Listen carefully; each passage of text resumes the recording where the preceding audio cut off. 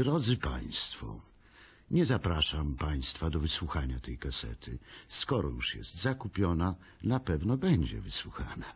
Ale ponieważ macie Państwo do czynienia z najbardziej, jakby tu można powiedzieć, hmm, ostrą erotyką, napisaną przez największych poetów polskich, winien jestem Państwu kilka słów nie pouczenia.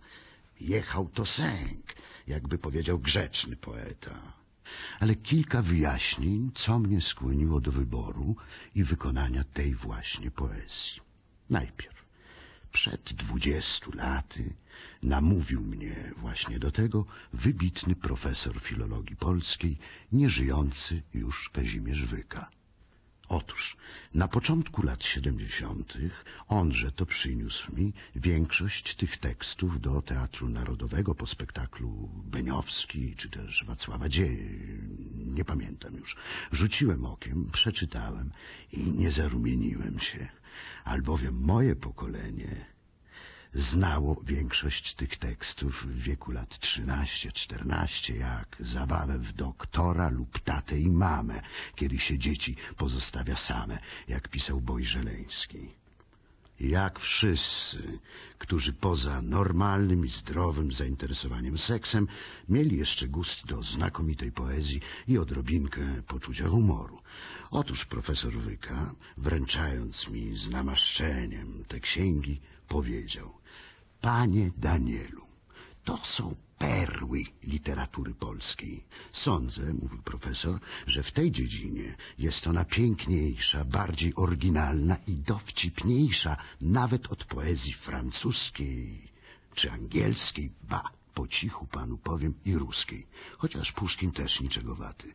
Bierz to, chłopcze, ucz się i wykonuj. W przedstawieniach Hanuszkiewicza także się pan nauczył formy, rytmu i dowcipu, mówił profesor, że jak teraz nagrasz te księgi, to zbłądzą one pod strzechy i nie będą wcale pornografią. Takie było życzenie profesora Wyki. Jestem jego wykonawcą. Na własną, podkreślam już, odpowiedzialność. Recepta. Nie radzę słuchać w pojedynkę. Najlepiej z żoną. Może być w niedużym gronie przyjaciół na przyjęciu. Jeden lub trzy kieliszki nie zaszkodzą. Uwaga, wyłączyć telewizor. To jest rzeczą lepszą, bo politycy tak bardzo już pieprzą. Przed dziećmi zamknąć ja kasetę radzę, choć się na nic to zda. I tak ją znajdą, gdy im będzie można. Aha, nie słuchać w samochodzie, lepiej po kielichu. Łatwo się w aucie zabić, rzecz jasna, ze śmiechu. Te chwasty polskie macie dziś sprzed laty. Ja chwasty kocham, tak samo jak kwiaty.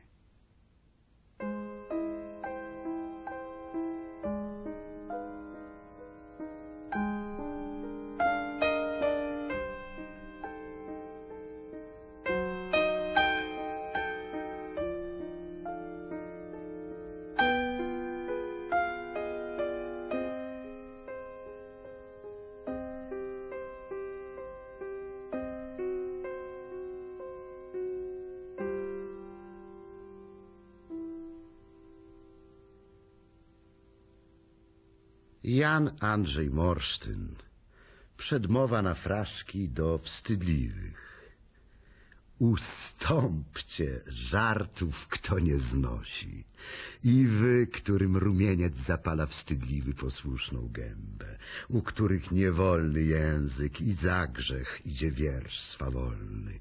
Są u mnie wiersze, które na nieszporze może ksiądz śpiewać i mniszka w klasztorze, ale ta książka, odważna na grzechy, rzeźkie ma słowa i bezpieczne śmiechy. Wyrzec klecze co chce i bez wszej ogródki kusia mianuje i z jego podbródki da własne imię swemu winowajcy i mądzie mądziem jajca zowie jajcy.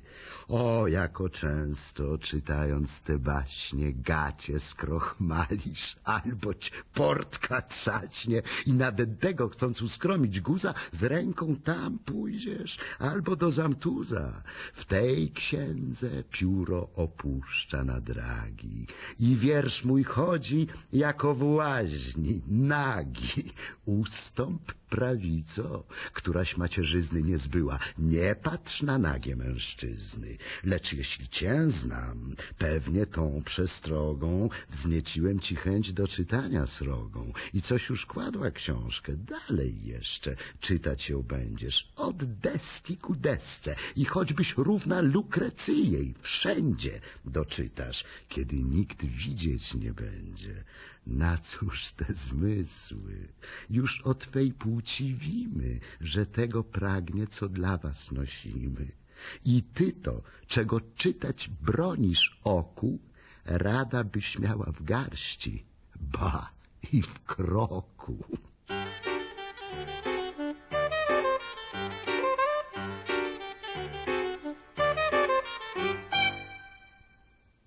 Mikołaj Rej z Nagłowic. A niechaj narodowie wżdy postronni znają, iż Polacy nie gęsi i swój język mają. Pisał jeden na ścienie, nago mi najmilsza. Drugi potem wziął kredkę, będzie z tego insza. Napisał, jałowica koszule nie miewa, podobno na pokoju ta u pana bywa. Ten przyszedłszy napisał, wołowi się godzi, co wspominał jałochnę, bo to z połu chodzi. Jakie benedicite, też oremus taki. Kto tym rymom przygani, całuj babę w kłaki.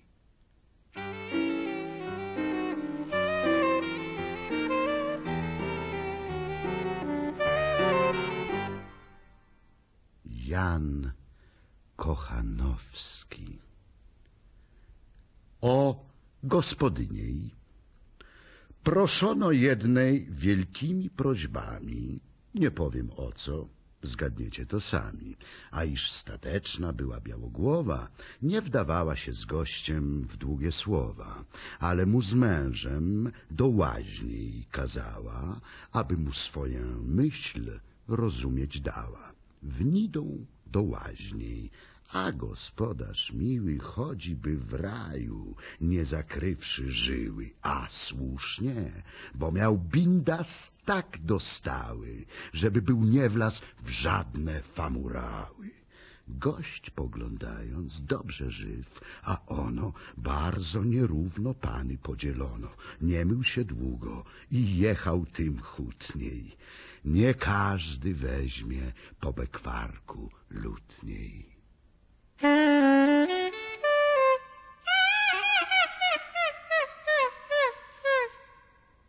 Jan Kochanowski.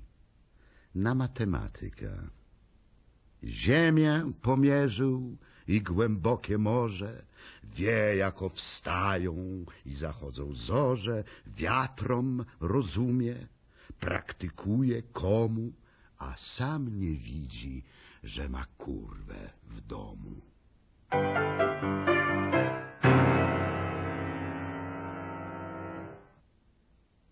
Jan Kochanowski, jakoby też rok bez wiosny mieć chcieli, którzy chcą, żeby młodzi nie szaleli. Jan Kochanowski. Na ucztę. Szeląg dam od wychodu, nie zjem jeno jaje. Drożej sram, niźli jadam, złe to obyczaje.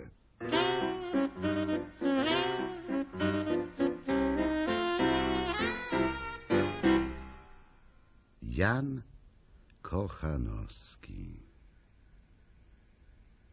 Do dziewki Nie uciekaj przede mną, dziewko urodziwa. Z twoją rumianą twarzą moja broda siwa zgodzi się znamienicie. Patrz, gdy wieniec wiją, że pospolicie sadzą przy różej leliją.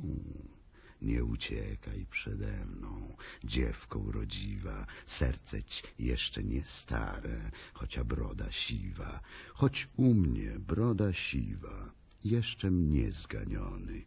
Czosnek ma głowę białą, a ogon zielony.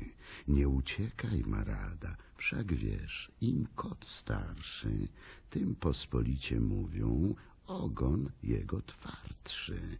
I dąb, choć miejscy przeschnie, choć liść na nim płowy, przed się stoi potężnie, bo ma korzeń zdrowy.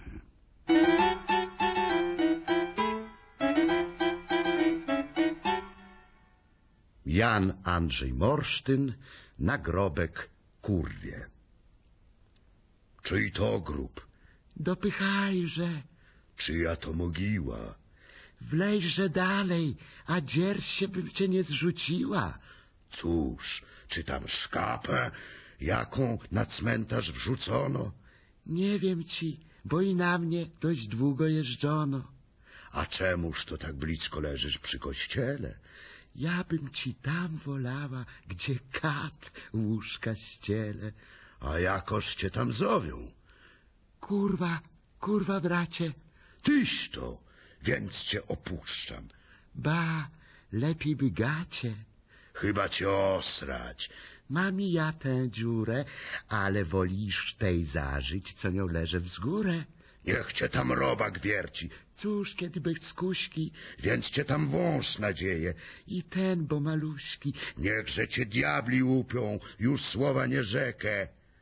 a ty za moją duszę odpraw się choć w rękę.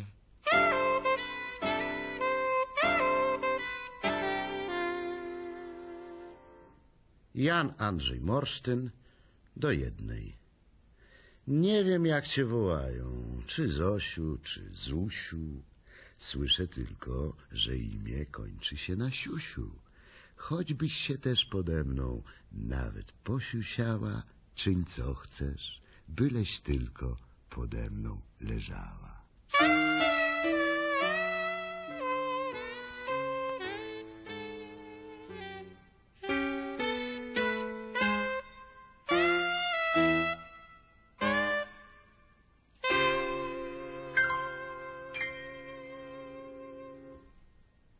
Stanisław Trębecki Przypadek siostry starszej opowiedziany siostrom młodszym. Miłość się w każdym odzywa człowieku i mnie rozkosznym zajęła powabem. Uważcie, siostry, jak to w młodym wieku cnota dziewczyny jest naczyniem słabym.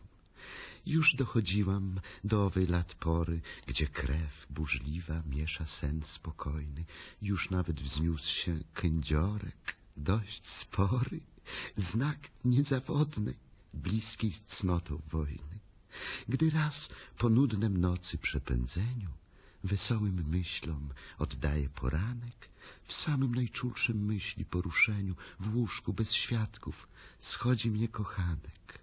Czuły był, chorzy, zabawny i młody, a co największa, ode mnie kochany.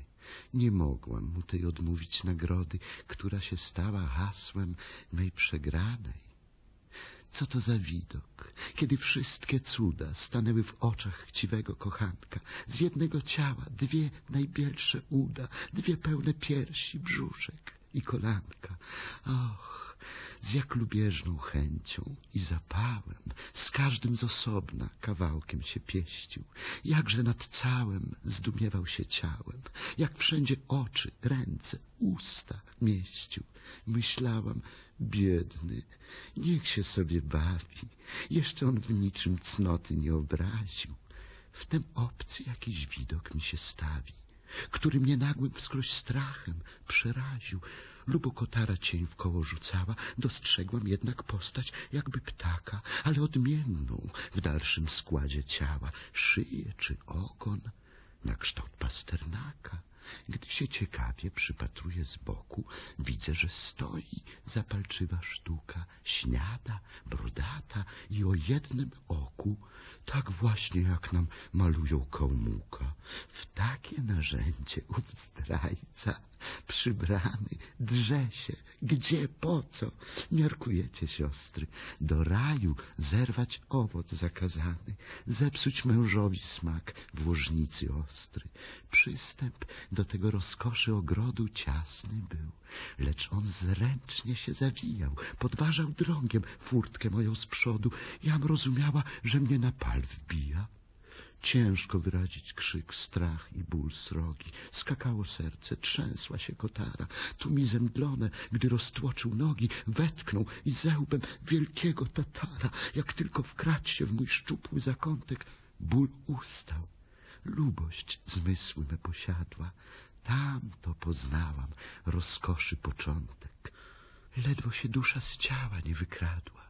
Wtem on, junaczek, co to ognie lube w memniecie łonie, co pląsał, co skakał, jakby już bliską swą przewidział zgubę. Czułem i łzami, nagle się rozpłakał. Po tych łzach wraca, patrzę, ośmielona, wyszedł.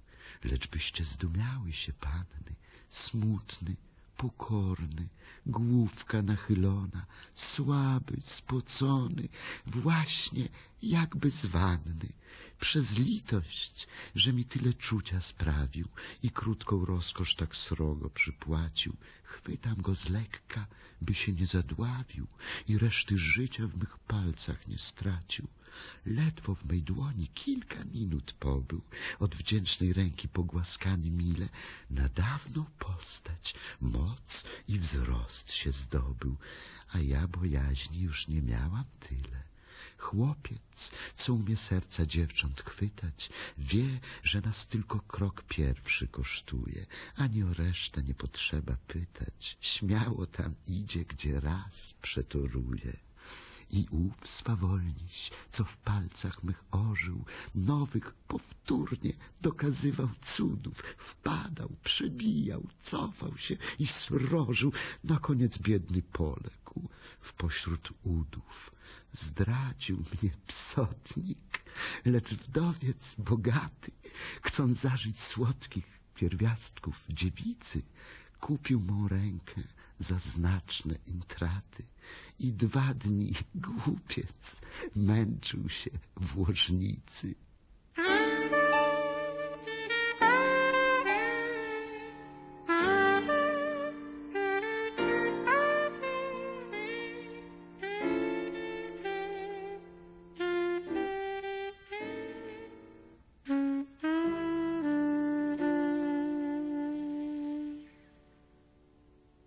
Aleksander hrabia Fredro, sztuka obłapiania, pieśń druga. Powiem tak krótko. Jeden ma gust taki, że mu niemiłe wszystkie koperczaki. Lubi wygodnie wypiździć dziewczynę, nie pytając się nigdy o przyczynę, czy te fawory przez miłosne żądze sprawione, czyli przez lube pieniądze. Inny zaś twierdzi, by czuć należycie trzeba w obłapie postępować skrycie, kochać się, miewać trudności tysiące, a tak nie zgasną pragnienia gorące. Jeden i drugi może w tym nie błądzi, bo nie ma prawa, gdzie tylko gust rządzi. Leon powiada, że nie ma rozkoszy, jak go na dziewce, kiedy kto przepłoszy. Wstrzymywać tchnienie, czekać wśród ciemnoty, póki dokończyć nie może roboty, lub jaka radość w północnej godzinie wleść do pokoju po małej drabinie, słuchać ze strachem po środku jebania, czyli argusa i trochę bojaźni, niby to żądzę powiększa i drzaźni ale być pono lepiej nie drzaźniony, jak do się wracać batem przepłoszony. Tłusty zaś Dorant przeciwne ma zdanie. Nie lubię, mówi, Nasze wielkie panie, dupy wystygłe, a żądania wiele. Jeszcze całując usta sobie zwiele, albo też czasem nos różem zczerwienie. I zawsze trzeba zważać na skinienie. To ach monami, jeb mnie na szezlongu, to na kanapie, krześle, to na drągu, tu źle, tam znowu ciężki na berżerce. To nałożnicy zanadto się wierce i choć człek oślą naturę przybiera, ona się przecie o niedosyć spiera. A jebałże pies te romanse modne. Raz spróbowałem, ale niewygodne. Na wsi ja wolę, gdy w lesie lub sadzie jurna dziewica na trawie się kładzie, a ja się zwalę na nią, jak nałożę i ciasną dupę od ucha chędożę. Tak Dorant wprawdzie nieźle rzecz dowodzi, jednak lenistwo nadto go uwodzi. Ja także lubię wieśniacze dziewczęta, w nich zdrowie, piękność i natura święta, ale trudności potrzeba niewiele, bo kwiat jest zwiędły, gdy się sam już ściele. Ciemnym przedsionku czekałem czasami, jak na przesmyku, ukryty za drzwiami i pokojówkę, gdy wyszła przypadkiem, wiodłem za sobą, schwyciwszy ukradkiem. Ej, panie, ej, pfe, kto nadejdzie, panie, szepcze. A jednak i chwili nie stanie, lecz idzie w miejsce upatrzone w przody, na jaki murek lub na ciemne schody. Tam gniotąc usty o ścianę, opieram, lekką spódniczkę z koszulką poddzieram, już me kolana między kolanami, pieszczę się trochę z ciepłymi łódkami, z małym kędziorkiem, który każdy lubi, co swą gęstwinkę aż na brzuszku gubi. Nareszcie w krzyżach robię się wypięty, by zamach z dołu potężniej był wzięty. Wznoszą się westchnienia moje rozkoszy, jej zaś głos sumienia. Bo chociaż sama tęgo dupą chwieje, wciąż woła i pfe, ej, to się źle dzieje. Zważajcież teraz, wy ludzie zepsuci, coście wśród miasta z czułości wyzuci, jak we wieśniaczce natura jaśnieje, jak w jebcu biedna woła, źle się dzieje, jak nawet dupą, gdy najmocniej rusza, widzieć się daje najczystsza jej dusza. Mówcież więc, mówcież, czy choć jedna przecie, czy choć raz jedna dama waszym świecie, w środku zbyt czułej, jebliwej roboty dozna cokolwiek sumienia z gryzoty? Nie, jeszcze zawsze, wierzgając nogami, gniewliwie mówi, dopychaj monami. I tylko w ten czas pewnie, ej, pfe, woła, gdy ją kto jebać już więcej nie zdoła.